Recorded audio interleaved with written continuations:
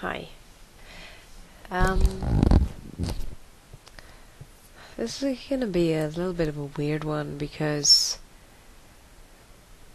um, on one account I'm being in a personally on a, I'm in a very bad place at the moment um, mentally, but also there's been weird stuff going on generally so it's a it's a weird place to be to be doing this kind of thing. But I was going to do a thing about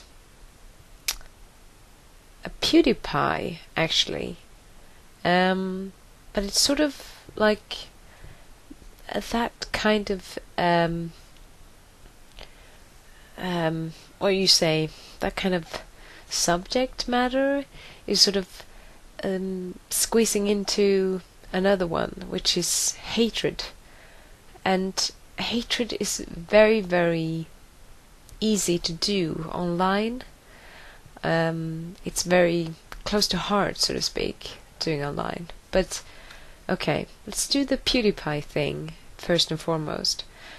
Um, so, I am not personally, I'm not a big fan of PewDiePie, so I'm not defending or you know anything that he does. But from from what I know, he's not actually hurting anyone. He's not um, putting anything in. I don't know. He's not. You know, he's not actually bringing anything worse into this world by doing what he does. But there is an extreme amount of hatred towards PewDiePie as a YouTuber. And I was thinking about okay, what why is that? What what does it trigger? What does it mean? And well, the first thing that comes to mind is jealousy. That oh, so he made something that people can associate to or that people like easily, in quotation marks, and therefore he is worth, he is worthy of our hatred because it was easy. Well, um, not really. Um, there is this this problem about, or well, this issue with people being jealous of people getting something because they're the like they're the first that feel a need, and so people automatically assume it was easy. Uh, it's not necessarily easy to get there. And um, then we have like so okay, a he's a YouTuber, and Two, he makes a lot of money doing what he likes and doing what he does. He may not even do everything that he likes, but he does something that people respond to, and then he, you know, continue on from there. Um, one thing is that it's not easy being um, it's not easy being a successful YouTuber it's not. it doesn't just happen. It happens for a reason.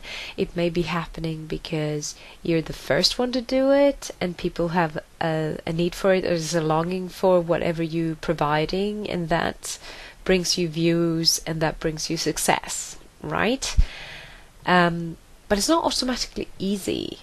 Anyone who comes after the person who does this um, has to work hard they have to maybe uh, put on a personify, um, you know, they have to play a part, um, which is tricky. Maybe they can't just be themselves. It's not just like someone, and also in like, um, say, um, oh, uh, I forgot his name now. What's his name?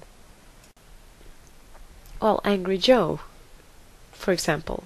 So Angry Joe has a huge amount of following. He has a success, successful, you know, um, successful um, channel and everything.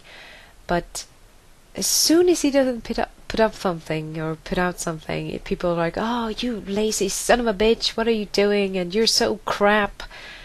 So you always have this. And even when people are saying, "Oh, just put up something for five minutes," well, if you still have to edit it and so on and so forth, it's still work. You know, it's still hard work uh, whether some whether a, a clip on YouTube is long or short, it's still gonna have to be work behind it if you're editing it. Um, so, but going back to PewDiePie, when I come when I look back and I read some of the like the hate comments, and I'm like, well, why are you so extremely hateful? Again, I'm not a fan. I'm not like I'm not defending anything he does, but I'm happy for his his success. I'm like, sure, that's great. If someone can have success from anything, I'm happy for them. They've obviously done something right, right? But um, what I think people need to to consider is that when they when they or when they say that something is you know, it's a cancer to YouTube. You're degrading cancer. Or when you're saying, oh, this is like the Hitler of YouTube, you're degrading the the amount of devastating effect that Hitler had. You don't understand it. If you despise and hate PewDiePie, you can choose to not look at his videos. You can put him aside, even if he comes up, say you're interested in similar type of stuff, so his videos come up in your selection of, um, you know, recommendations on YouTube, you can still choose not to look at them. Don't give him the views. That is the thing. If you don't agree with PewDiePie, you don't like his humor, you don't like what he's doing, his kind of work, don't look at his videos and don't support him, and that will speak for itself.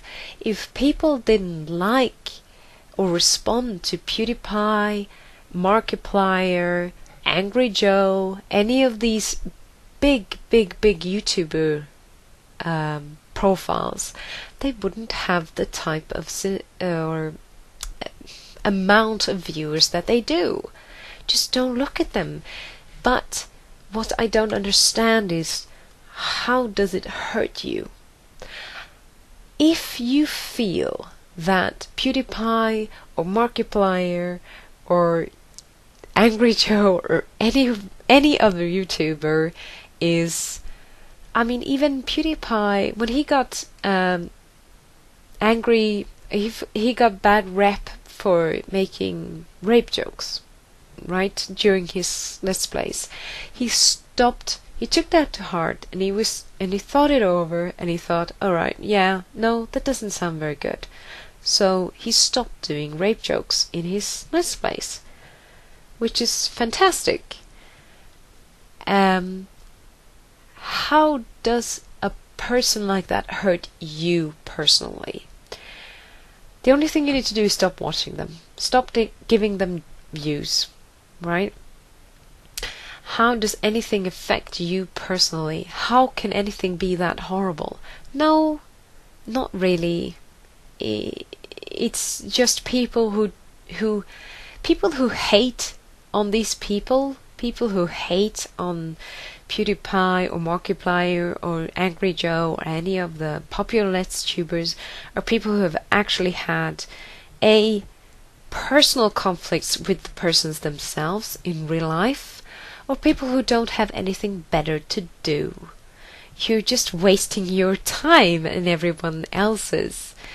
Um, people will always have different, uh, uh, you know, opinions about things and objectives and you know, what they value most or devalue.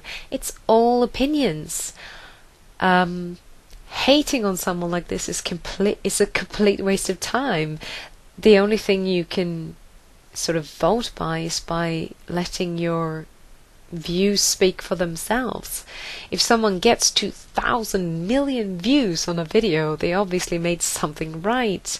Whether it's bait or not, they attracted attention. Okay? And why do they anger you so much? Maybe it's because you don't have any real problems in your life. Maybe you don't have a gun pointed to your head at the moment. then you're gonna care about about what PewDiePie says or doesn't, you know. But it's it's like fake opinions when you start hating on people uh, and putting in the comments. I mean, if you don't like someone, you don't support them, don't watch them, don't do them any favors, don't give them views, don't give them comments, and so on and so forth. Um, this will sort out itself, right? So, you know, just don't waste it. Don't waste their time and yours first and foremost. Don't waste your time on these people that you don't like. I just don't get it. But um, so yeah, stop doing that in case it's someone you don't like, and if it's someone you you're sort of in the middle or in between of, does it hurt you? Does it hurt anyone? What they do? If it doesn't, it's no biggie. So, there's my five cents.